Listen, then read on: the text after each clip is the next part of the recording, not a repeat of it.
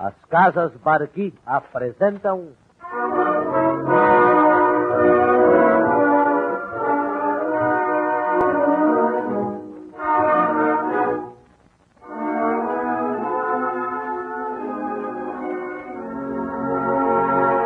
No tempo de Noel Rosa.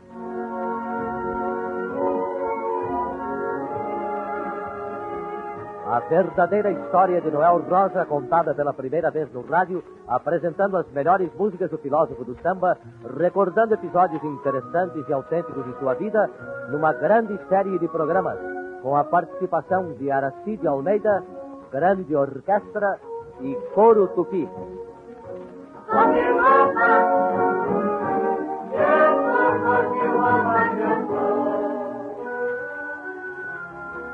Com uma boa roupa, com uma elegante roupa confeccionada com um tecido garantido das casas Barqui, especializadas em tecidos ingleses, linhos tropicais e casimiras.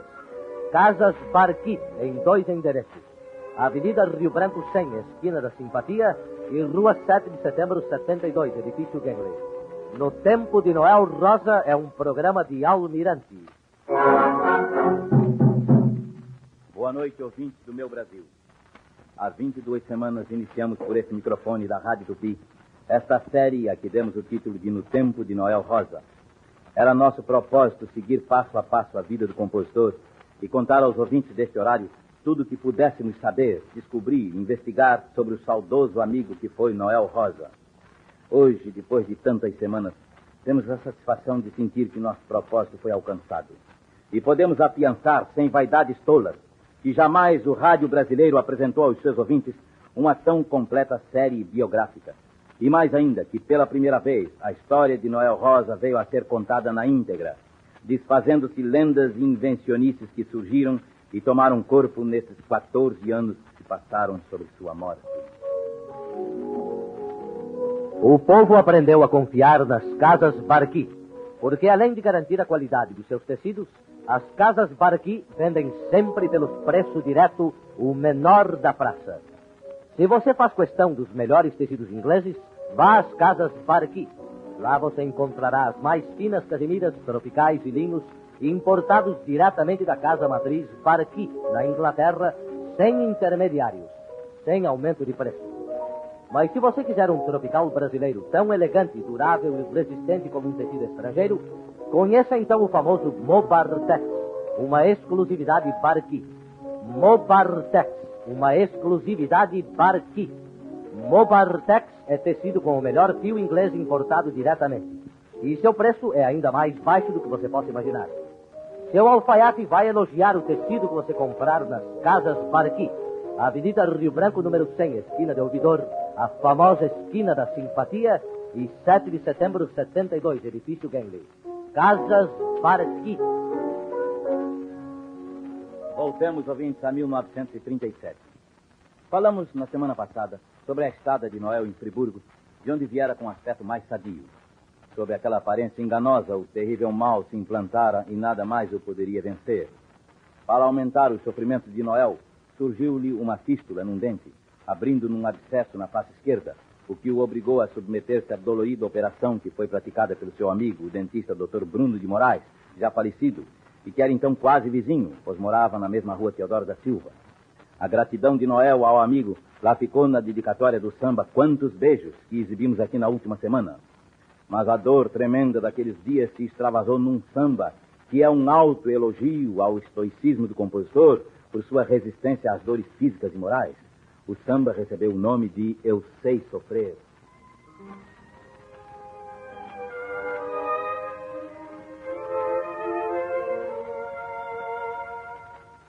Deu-se com esse samba um episódio chocante. Havia ele sido entregue por Noel a Aracide Almeida para que o gravasse. Araci articulou-se com o flautista Benedito Lacerda, que encabeçava então um grupo intitulado Boêmios da Cidade, e com ele gravou o Eu Sei Sofrer. Já sofreu mais do que eu? Quem é que já me viu chorar? Sofrer foi o prazer que Deus me deu. Eu sei sofrer sem reclamar. Quem sofreu, mas que eu não nasceu, com certeza Deus já me esqueceu. Mesmo assim, não cansei de viver e na dor eu encontro prazer. Saber sofrer é uma arte e quando modesta de face, eu posso dizer que sei sofrer. Quem é que já sofreu mais do que eu? Quem é que já me viu chorar, um prazer que Deus me deu. Eu sei sofrer sem reclamar. Quem sofreu mais que eu não nasceu, com certeza Deus a me esqueceu. Fim da gravação. Benedito resolveu ir avisar a Noel daquela gravação. E à noite, lá pelas 10 horas da noite, ele rumou para a Vila Isabel. De frente da casa de Noel, percebeu de longe um movimento insólito. Benedito ficou apreensivo. E ao se aproximar, recebeu a triste notícia. Noel havia morrido poucas horas antes. Era o dia 4 de maio de 1937.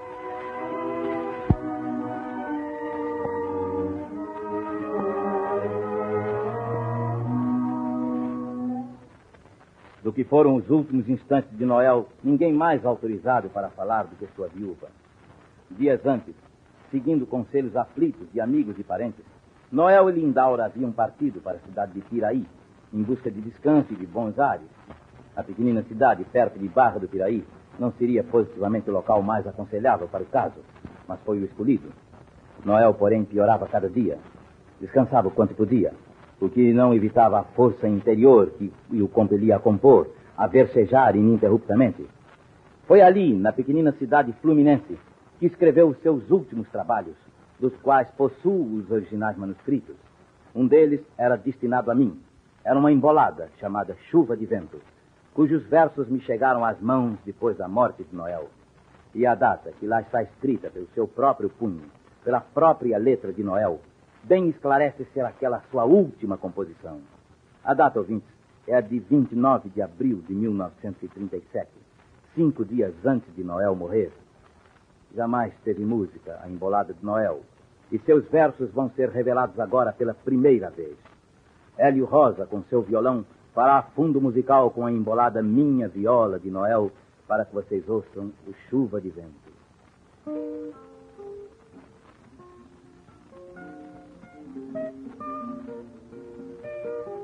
Chuva de vento é quando o vento dá na chuva. Sol com chuva, céu cinzento, casamento de viúva.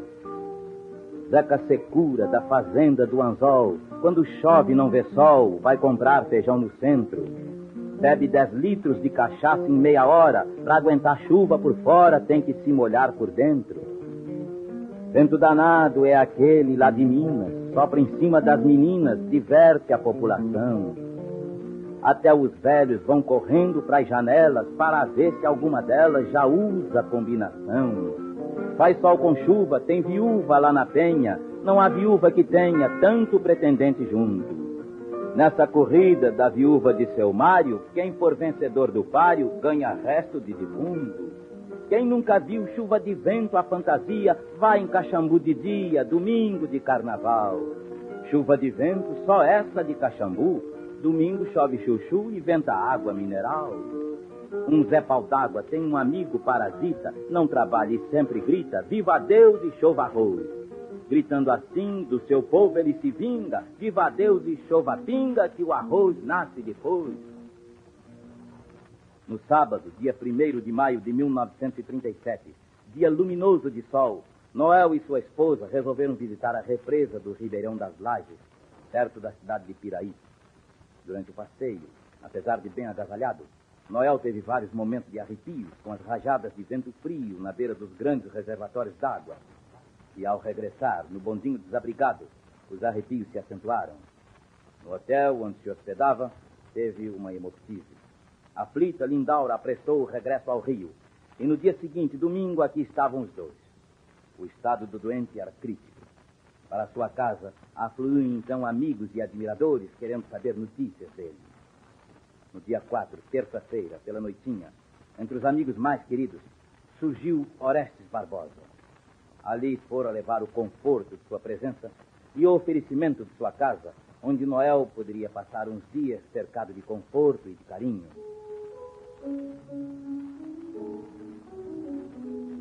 Bem de fronte, na casa da família do Vicente Galiano, mais conhecido em Vila Isabel por Vicente Sabonete, realizava-se uma pequena festa. Os sons do piano e do coro alegre dos dançarinos enchiam a rua silenciosa de Vila Isabel, espalhando melodias de todos os gêneros, de todos os ritmos. Entre elas, evidentemente, se contavam muitas de Noel, que assinava então boa percentagem dos sucessos do tempo. Devendo-se mesmo notar que nos bailes daquele tempo andava em predominância o samba de babado, que constituía sucesso permanente nos improvisos de vários artistas de rádio.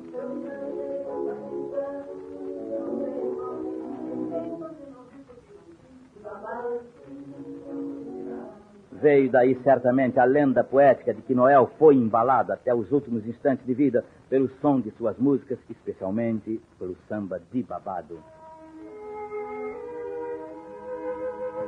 A verdade é que naquela noite, quando Orestes Barbosa, lá pelas sete horas, no portão, se despedia de Dona Marta e de Lindaura, lá dentro, no quarto de Noel, Hélio notava algo de estranho na fisionomia do irmão. Parecia crescer nele uma aflição. Seus olhos se esgazeavam de maneira agoniada. Hélio chegou-se bem perto e perguntou o que se passava com ele. E teve a resposta numa voz sumida. Hélio, estou me sentindo mal. Deixa eu virar um instantinho. Hélio o ajudou a voltar-se na cama.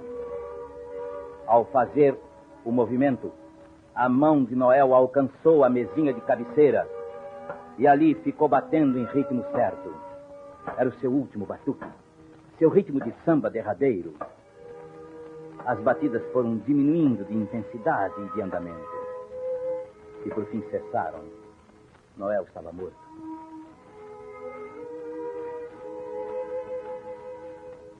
No dia seguinte, na enorme aglomeração que se verificou na pequena casa de Noel, deu-se um fato deplorável.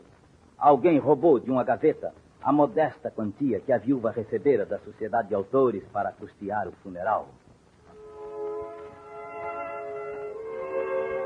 Quando o cortejo saiu, o caixão foi carregado pelo povo e o levou até a tradicional igreja de Nossa Senhora de Lourdes, na Avenida 28 de Setembro, onde penetrou a despeito da resistência de um sacerdote.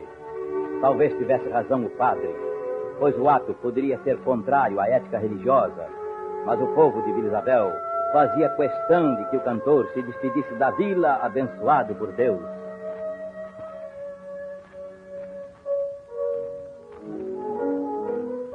Sim, senhora. A qualidade é a melhor possível. E o preço? Ora, o preço. É tão baixo que a senhora ficará surpreendida.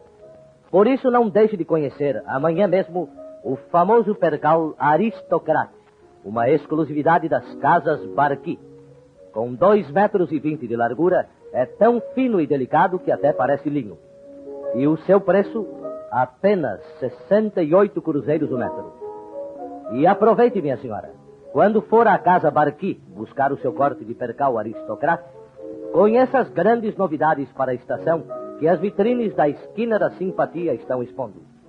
Bem na Esquina da Simpatia, na Avenida Rio Branco 100, esquina de Ouvidor, está, minha senhora, a sua casa Barqui.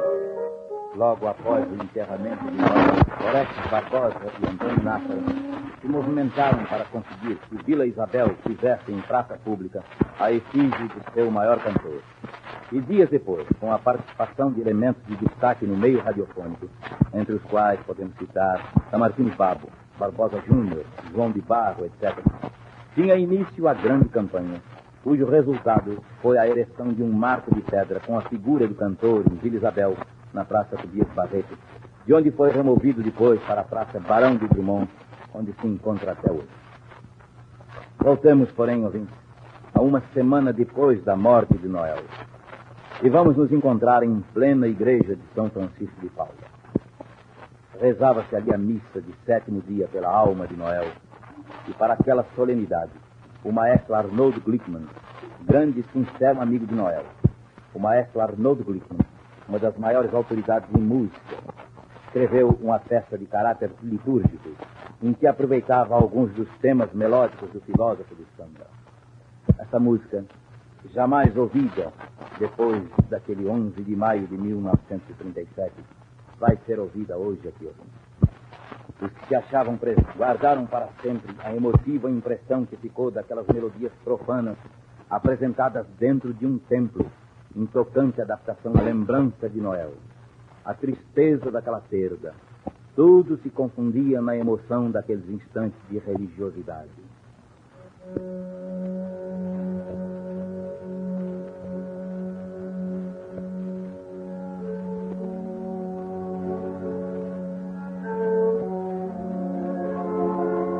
E não houve ouvinte.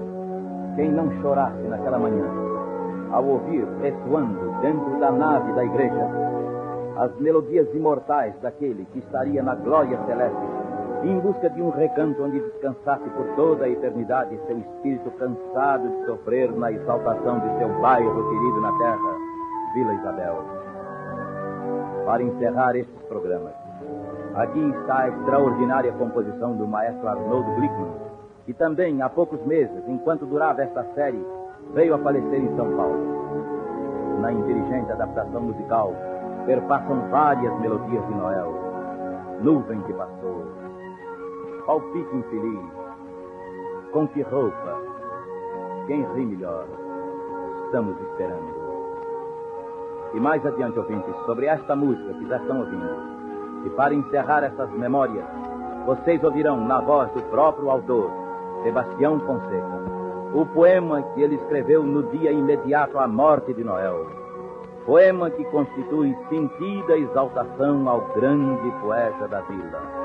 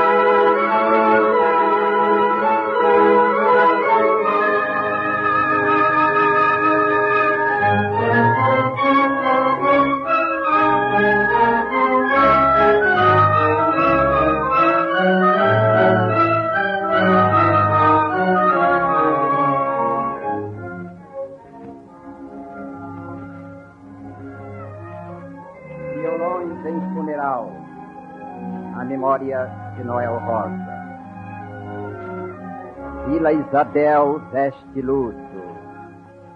Pelas esquinas escuto violões em funeral.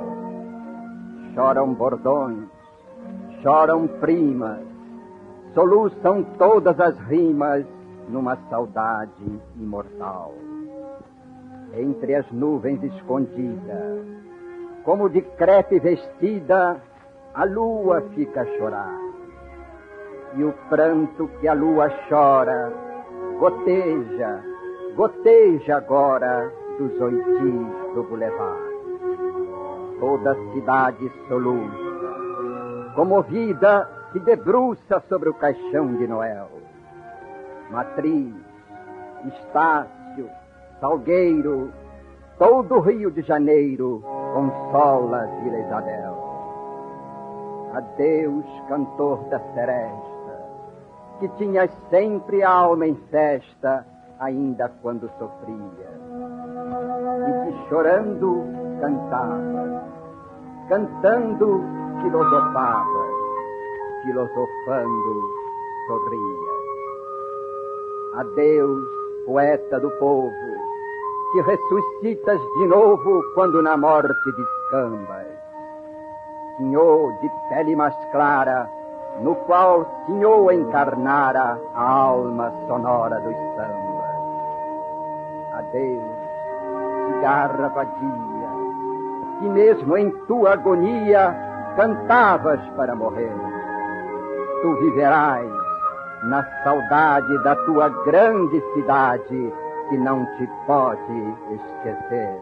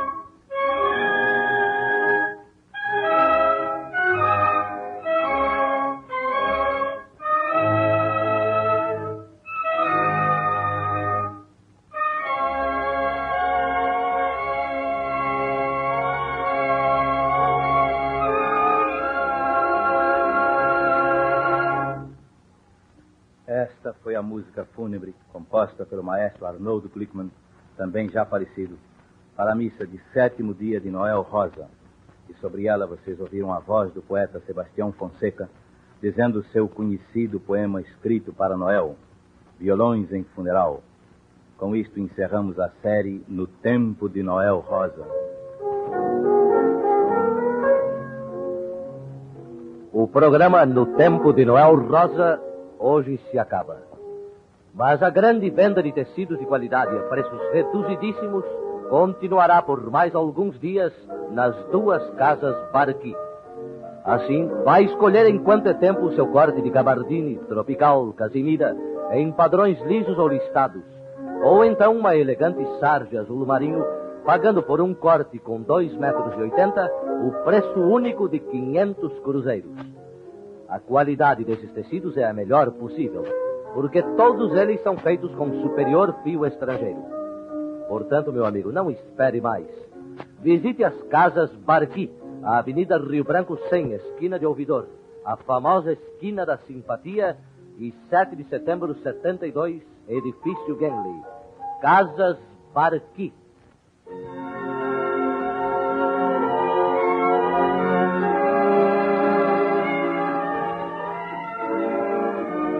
Encerrar esta série, quero agradecer a todos aqueles que me deram informações preciosas que eu pude transmitir aos ouvintes. Faço questão de repetir aqui que foi contada a verdadeira história de Noel Rosa e, portanto, nestes programas ficou um valioso documentário sobre a vida do maior compositor de sambas do Rio de Janeiro. Um muito obrigado especial a Hélio Rosa, que me acompanhou com seu violão e forneceu também sua eficiente colaboração a estes programas. Quero deixar aqui também meu agradecimento a Sebastião Fonseca por seu comparecimento hoje a este programa. Sincero obrigado a Aracide Almeida, que estrelou esta série.